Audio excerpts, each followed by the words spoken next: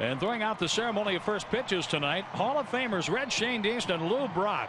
Red with an underhand strike on his pitch.